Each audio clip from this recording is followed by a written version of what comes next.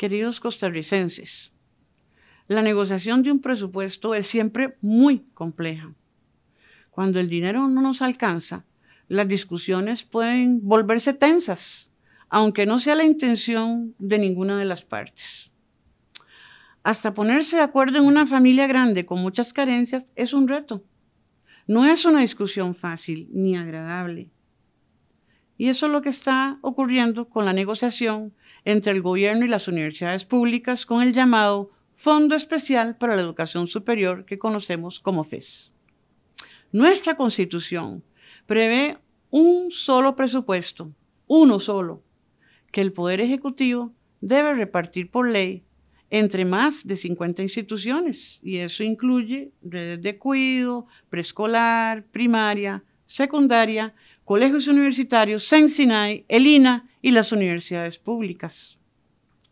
Todos, todos son igual de importantes. Todos encadenan con un solo propósito, procurar educación de calidad para las actuales y nuevas generaciones de costarricenses. Pero las limitaciones financieras del país nos están afectando. Tomar decisiones por el bien de todos es una tarea compleja que solo se logra con el diálogo y una participación abierta. Desde el inicio de mi gestión hice un llamado a la sociedad costarricense para que juntos busquemos el equilibrio y protejamos la educación a lo largo de la vida.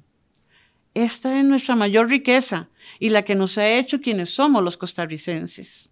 Siempre he reconocido y valorado la invaluable contribución de las universidades al desarrollo y al bienestar nacional.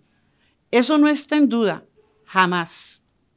La investigación y el pensamiento académico existen porque la sociedad los considera fundamentales, al igual que los centros de cuidado, la educación primaria, la secundaria, la educación técnica, en fin, todos los niveles. El ministro de Educación es el rector del sector y debe velar por el bienestar de todas las instituciones. Le corresponde ser equitativo y por eso no puede empezar una negociación quitándole a uno para dárselo a otro. Negociar es un diálogo, un intercambio respetuoso de propuestas, hasta llegar a un acuerdo. Así lo pactamos con las universidades desde un inicio y de parte nuestra no lo hemos cambiado. Hay un solo techo presupuestario establecido por el gobierno ante la difícil situación que vivimos. Tenemos que dar prioridad a lo más crítico, como asegurar la ayuda a las personas más vulnerables, las que más necesitan.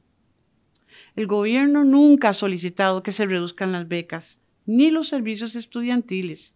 Todo lo contrario. Pedimos que se incrementen las becas. El recorte no debe estar ahí, ni tampoco en la alimentación de los niños, niñas y jóvenes. Sabemos que un 40% de ellos está en el umbral de pobreza, pobreza extrema y vulnerabilidad. Muchos solo comen en las escuelas. La transparencia en el uso de los recursos es clave. El país no solo demanda austeridad en el gasto, sino un sano, equilibrado y eficiente balance de las finanzas públicas. No hay ningún interés en perjudicar a las universidades públicas ni a ninguna otra institución educativa. De hecho, yo desearía poder estar en tiempos mejores y lograr que la educación superior pública se fortalezca, sea más eficiente todavía e inclusiva con equidad. Vemos que en el 2000, entre el 2010 y el 2022, el monto asignado al FES creció en un 151%, pasando de 222 mil millones de colones a 559 mil millones. Este es el compromiso del gobierno y del Ministerio de Educación. Uno, procurar una justa distribución del presupuesto. Dos, reducir algunos gastos para cubrir necesidades críticas. Tres, velar por los derechos de todos los estudiantes. Cuatro, mantener una posición abierta y flexible en busca de la mejor solución. Cinco, luchar por transparentar el uso del dinero público. Y seis, beneficiar a quienes más lo necesitan. No estamos propiciando una lucha entre el MEP y las universidades. La negociación debe darse en la comisión de enlace y no en los medios de comunicación. No hace falta tanta agresividad, porque el diálogo ha estado siempre abierto.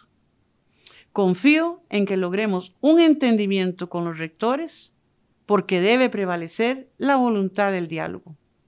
Luchemos juntos por la excelencia educativa en todos los niveles que por décadas han hecho brillar a nuestro país como la mejor herramienta para el desarrollo, para eliminar la pobreza de miles de costarricenses y para abrir las puertas a las oportunidades señores rectores y representantes los estudiantes. Los esperamos mañana para continuar el diálogo sincero, franco, constructivo, como lo merece nuestro querido país.